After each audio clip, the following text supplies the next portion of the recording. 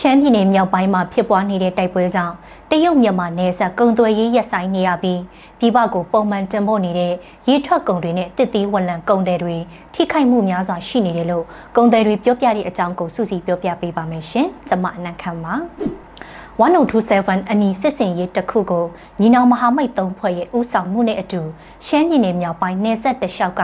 ချင်းရွှေဟောလောက်ကိုင်းတိန်းနီလှရှိုးအစရှိတဲ့မြို့နယ်တချို့မှာရှိတဲ့စစ်ကောင်စီလက်အောက်ခံတပ်ရင်တပ်စခန်းတွေကိုပြီးခဲ့တဲ့အောက်တိုဘာလ28ရက်နေ့ကစတင်တိုက်ခိုက်နေတာဖြစ်ပါတယ်။ဒီလိုမျိုးနှစ်ဖက်တိုက်ပွဲတွေကြောင့်တရုတ်နယ်စပ်ကုံသွယ်ရေးလမ်းကြောင်းဖြစ်တဲ့မူစိန်105မိုင်နဲ့ချင်းရွှေဟောနယ်စပ်ကုံသွယ်ရေးတွေအလုံးလုံးဝရပ်တန့်နေရတယ်လို့ကုံသွယ်တွေကပြောပါတယ်။ ဒါအပြင်မူဆယ်105မိုင်ကုံသွဲစုံမှာဆိုရင်လည်းအကောက်ခွန်ဌာနအပါအဝင်စက်ကောင်စီလက်အောက်ခံဌာနဆိုင်ရာဝန်ထမ်းတွေလုံးဝမရှိတော့ဘူးလို့ဆိုပါတယ်။ဟုတ်တိုက်ပွဲဖြစ်ပြီးတော့နေလက်ကုံသွဲရေးကတော့အခုအကုန်ရထားတဲ့ဟိုကက်တန်လည်းမရှိဘူးပေါ့နော်။နောက်နေလက်ကုံသွဲရေးဌာနလည်းလူမရှိကြဘူးဝန်ထမ်းတွေအကုန်ရှောင်နေကြတယ်နော်။ရှောင်နေကြတယ်နောက်ကားတွေကလည်းဟိုတက်လို့မရဆင်းလို့မရသူအကုန်ပိတ်နေတော့လမ်းတွေပိတ်တရားတွေဖြစ်တော့ ဘာမှလည်းကျူလီဆောင်နေလို့မရကားသွားလို့မရဟောအားလုံးရဆိုင်နေပါလေဗျဟုတ်ကဲ့ဘူဆေကတော့ဟောပေါ့ဒီတိုင်းပဲ AC ဖြစ်တယ်အဲနောက်ကျွန်တော်တို့တိန်နီကတော့ဟိုကိုကက်နဲ့ PDF တွေရှိနေတယ်လို့ပြောတယ်ခိတ်ဒီ land ခိတ်ဒီမှာလည်းသူတို့ပဲ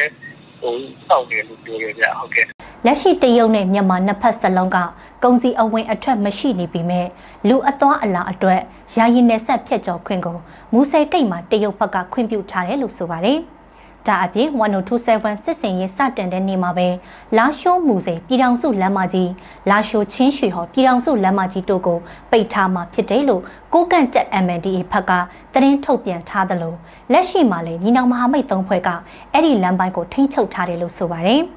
ဒီလိုအခြေအနေတွေကြောင့်အဲ့ဒီလမ်းပိုင်းမှာကုန်ပစ္စည်းတွေတင်ဆောင်ထားတဲ့ကုန်တင်ရင်ကားအစီးရေရာနဲ့ချီပိတ်မိနေစေဖြစ်ပြီးတချို့ကုန်စိမ်းပစ္စည်းတွေကရက်ကြလာရင် ပုတ်သိုးနိုင်တဲ့အတွက်တရုတ်ဘက်ကိုတင်သွင်းနိုင်ဖို့လည်းညှိနှိုင်းဆောင်ရွက်နေတာရှိတယ်လို့ဆိုပါတယ်။မြန်မာနိုင်ငံဟာဆိုရင်တရုတ်နဲ့ကုန်သွယ်ရမှာမူဆယ်ချင်းရွှေဟော့ကံပိုက်တီလွယ်ကျဲကျိုင်းတုံနယ်ဆက်ကုန်သွယ်ရေးကိတ်၅ခုကိုအသုံးပြုနေရပြီးအဲ့ဒီထဲကမူဆယ်နဲ့ချင်းရွှေဟော့ကိတ်ကအကြီးဆုံးဖြစ်ပါတယ်။ ဒါအပြင်မြန်မာနိုင်ငံအနေနဲ့တရုတ်ဖက်ကိုစံတစ်တီဝလံပဲအမျိုးမျိုးတို့အပြင်ငရှင်ကနန်းအစရှိတဲ့ရေထွက်ကုန်ပစ္စည်းတွေကိုလည်းရှမ်းပြည်မြောက်ပိုင်းကနေဆက်ကုန်းသွဲရေးကနေတဆင့်အတိကတင်သွင်းနေတာလည်းဖြစ်ပါတယ်။ဒီလိုမျိုးရှမ်းပြည်မြောက်ပိုင်းကတိုက်ပွဲကြောင့်နေဆက်ကုံသွဲရက်တန့်သွားတဲ့အတွက်ဝယ်ယူတိုးလောင်ထားတဲ့ငရှင်တွေတေသွားပြီးဆုံးရှုံးမှုတွေအများကြီးကြုံနေရတယ်လို့မွန်ပြည်နယ်မှာငရှင်ရောင်းဝယ်တိုင်းတဦးကပြောပါတယ်။အင်္ဂလိပ်29ရက်နေ့ကစပြီးတော့ ဒီမှာပို့လို့မရတော့ပစ္စည်းကပြန်တော့ငါစီကအထက်ကယူမဲ့ဆိုင်ကသူပိတ်လိုက်တယ်သူပြီးတော့ဘူးဆိုတော့ဆိုင်ကပိတ်လိုက်တဲ့အတွက်ကြောင့်လက်ရှိရောင်းနှမ်းဝင်တဲ့ဟာတွေကိုရှင်းမှတော့ရောင်းတယ်လောင်ထားတယ်သေရင်ပြစ်လိုက်ရတယ်ညှောက်တဲ့ဟာညှောက်တယ်အဲ့လိုမျိုးကရှုံးရှုံးမှုကအများကြီးဖြစ်သွားတာပေါ့ဥမာပေါ့တစ်စစ်ထောင်ထားတဲ့လူလည်းအခက်အခဲဖြစ်သွားတယ်ပေါ့ ဒီတိုင်းနဲ့စက်ပိတ်နေမယ်ဆိုရင်ဆင်းရဲသားလည်းငတ်မယ်၊တိုင်းလည်းငတ်အဲ့လိုမျိုးပေါ့။ဒါအပြင်နှစ်ဖက်တိုက်ပွဲကြောင့်ကုံသွယ်ရေးလမ်းမကြီးတလျှောက်မှာတရားတွေပျက်စီးတာလမ်းပိုင်းတချို့ပျက်စီးမှုတွေရှိနေတဲ့အတွက်သွာလာဖို့လည်းအခက်အခဲရှိနေကြတယ်လို့ဆိုပါတယ်။တစ်ဖက်မှာလည်းဒီလိုရာသီအချိန်မှာမြန်မာဖက်ကနေတရုတ်ဖက်ကို ဖယဲသီးတင်ဖို့တဲ့အချိန်ဖြစ်နေပေမဲ့ယခုလိုတိုက်ပွဲကြောင့်ကုံသွယ်ရေးလမ်းကြောင်းပိတ်လိုက်ရတဲ့အတွက်ဖရဲသီးကုံတယ်တွေကလည်းထိခိုက်မှုတွေရှိလာနိုင်မယ်လို့သုံးသပ်မှုတွေရှိနေပါတယ်ဟိုကျွန်တော်ဒီဘက်ကတရုတ်ပြည်ကိုတွားနေတဲ့ဟာတွေကပုံမှန်တော့ဒီတတိတွေပြတယ်ဒီဖရဲသီးကိုပါတော့အခုတော့နည်းနည်းခတ်သွားတာပေါ့ဗျာအရင်တည်းကဒီဖရဲတို့ဘာလို့ကလည်းဒီဘက်ကအခုစကိုင်းတို့ဘာလို့ကပါအဓိကထွက်တာဟုတ် ဆိုတော့အခုအဲ့ဘက်မှာဖြစ်နေတာဆိုတော့ရတဲ့ဟိုမှာချွတ်တောင်မှုတွေခင်ဗျာစစ်သေးရှောင်နေနေပဲဒီဘယ်လိုခေါ်မလဲဒီဒိန်းကြစုံထဲမှာဟိုပဲအဲဒီစိုက်ပျိုးထုတ်လို့ရတဲ့ပစ္စည်းရောင်းဖို့ကြတော့လမ်းပိတ်ဆိုတော့သူတို့တက်ကတော့တော်တော်လေးဟိုလီးနှစ်ခါနာလို့တော့ဖြစ်သွားတာပေါ့နော်ဒါအပြင်တရုတ်ဖက်ကနေမြန်မာပြည်ဖက်ကိုတင်သွင်းနေတဲ့စောက်လုပ်ရည်သုံးပစ္စည်းတွေလက်စစ်ပစ္စည်းတွေနဲ့အဝတ်အထည်စားတောက်ကုန်ဆေးဝါးရင်းနဲ့ဆက်ပစ္စည်းကိုအတိကတင်သွင်းနေတာလည်း ဖြစ်ပါတယ်။လက်ရှိတရုတ်ဖက်ကနေမြန်မာပြည်ဖက်ကိုကုန်စည်ပစ္စည်းတွေအဝင်နှဲပါသွားတဲ့အတွက်တရုတ်ထုတ်ကုန်ပစ္စည်းတွေဟာစေးအနှဲငယ်စတက်လာနေပြီလို့ဆိုပါတယ်။ဒီကတော့ဒီတရုတ်ဟိုဒီပစ္စည်းတွေရောဈေးစားတတ်တာပေါ့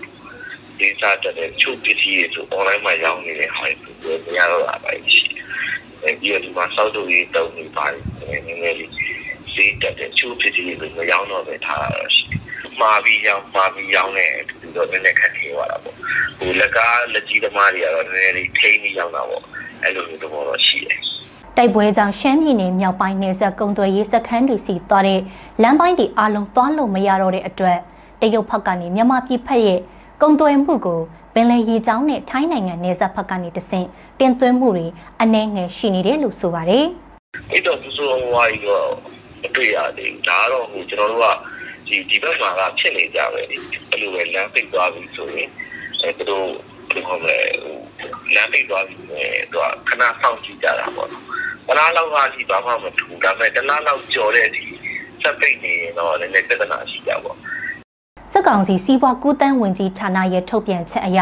2023-2024ပန်ဒါနှစ်ဧပြီလမှစက်တင်ဘာလအထိ6လအတွင်း ချင်းရွှေဟော်နယ်စပ်မှအမေရိကန်ဒေါ်လာ633တန်းနဲ့မူဆယ်နယ်စပ်မှအမေရိကန်ဒေါ်လာ1.3ဘီလီယံကျော်ကုန်သွယ်ထားတယ်လို့ဖော်ပြထားပါတယ်။လက်ရှိမှာလည်းရှမ်းပြည်နယ်မြောက်ပိုင်းမှာဖြစ်ပွားနေတဲ့တိုက်ပွဲကြောင့်မြောက်ပိုင်းမဟာမိတ်သုံးဖွဲ့ဖက်ကချင်းရွှေဟော်ဖောင်းဆိုင်ကျူကုတ်သိန်းနီစတဲ့လေးမြို့နယ်ကိုထိန်းချုပ်ထားနိုင်ပြီးလက်ရှိမှာလည်းထိတွေ့တိုက်ပွဲတွေပြင်းထန်နေစေဖြစ်ပါတယ်။